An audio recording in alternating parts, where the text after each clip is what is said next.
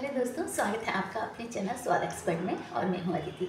तो आज स्वाद एक्सपर्ट में बनने जा रहा है बहुत ही टेस्टी सा रायता, जो टेस्टी तो है ही, सब में हेल्दी भी बहुत है।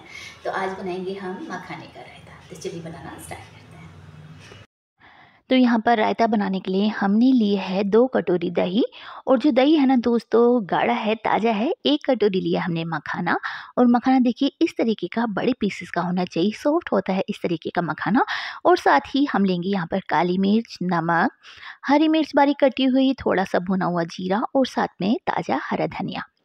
तो चलिए, सबसे पहले हमने करना क्या है, यहाँ पर जो हमारे मखाने हैं, इनको हम रोस्ट कर लेंगे। तो चलते हैं गैस की तरफ़। तो यहाँ गैस पर मैंने एक पैन रख दिया है, गैस को हम यहाँ पर स्टार्ट कर लेते हैं। तो जो हमारे मखाने हैं ना दोस्तों, उन्हें हम रोस्ट करेंगे बिना घी के मतलब कि उन्हें हमें सिर्फ़ ऐसे ही रोस्ट करना है तो जो मखाने होते हैं, कई बार होता क्या है कि हमारे पास पड़े होते हैं और वो पड़े पड़े सीम से जाते हैं। तो रोस्ट करने से जो हमारे मखाने होते हैं, वो काफ़ी क्रंची हो जाते हैं, क्रंची हो जाते हैं। तो देखिए, अभी ये बिल्कुल इस तरीके से हैं, टूट नहीं रहे हैं और जब ये क्रंची हो जाएँगे ना तो बस हाथ में लेते ही थोड़ा सा प्रेस करती ये आसानी से फूट जाएँगे, क्रंची हो जाएँगे।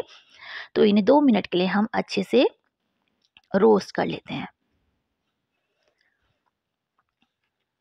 तो दो मिनट हो गए हैं इनको रोस्ट करते करते आपको दिखाती हूँ। तो इस तरीके से हम दबाएँगे ना तो ये बिल्कुल इस तरीके से चूरा हो जाएगा, यानी कि हमारी जो मखाने हैं वो बहुत अच्छे से सीख गए हैं, रोस्ट हो गए हैं। तो यहाँ पर गैस को बंद कर देते हैं और अब चलते हैं, बनाते हैं रायता। तो यहाँ पर जो दही है ना तो इसको देखिए, मत लेंगे।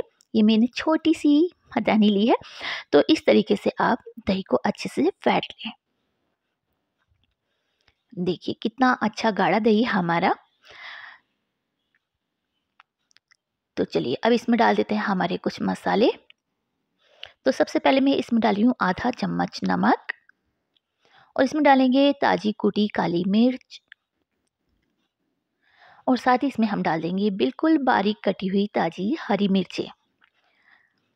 और अब हम इसमें डालने वाले हैं ताज़ा भुना हुआ जीरा पाउडर। इससे जो रायते में फ्लेवर आता ना, बहुत मस्त आता है। और अब हमारे मखाने। कुछ मखानों को हम इस तरीके से क्रश करके डाल देंगे। दो चार मखाने ऐसे डाल दीजिए, बाकी जो मखाने हैं ना, उनको आप ऐसे ही दही में डाल दें। और अच्छे से कर लें इन सब चीज़ों को मिक्स। जानते ही हैं आपकी मखाने में कितना कैल्शियम होता है और दही में होता है विटामिन बी ट्वेल्व। तो बहुत ही बढ़िया और बहुत ही हेल्दी रायता है ये दोस्तों। और आपको अगर वीडियोस मेरी पसंद आ रही है तो वीडियो को आप लाइक करें कमेंट करें शेयर करें और चैनल पे अगर नए हैं तो फटाफट से चैनल को भी आप सब्सक्राइब कर लें। ईजी और क्विक बन जाने वाली रेसिपीज़ को देखने के लिए तो देखिए कितना मस्त लग रहा है हमारा रायता और फटाफट से बन करके तैयार भी हो गया। खीर तो आपने खाई होगी मखाने की, क्या आपने कभी रायता बनाया है?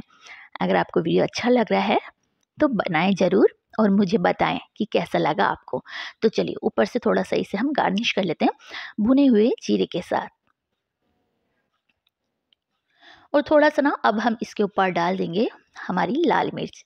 देखिए, कितना सुंदर लग रहा है। जितना सुंदर ये दिख रहा है ना, उतना ही ज़्यादा ये खाने में डिलीशियस है टेस्टी है। बहुत ही बढ़िया इसका टेस्ट है। तो देखिए दोस्तों, तैयार हो गया हमारा रायता। आप भी बनाएँ और मुझे बताएँ। और हाँ दोस्तों, वीडियो देखने के लिए बहुत बहुत थैंक यू आपका।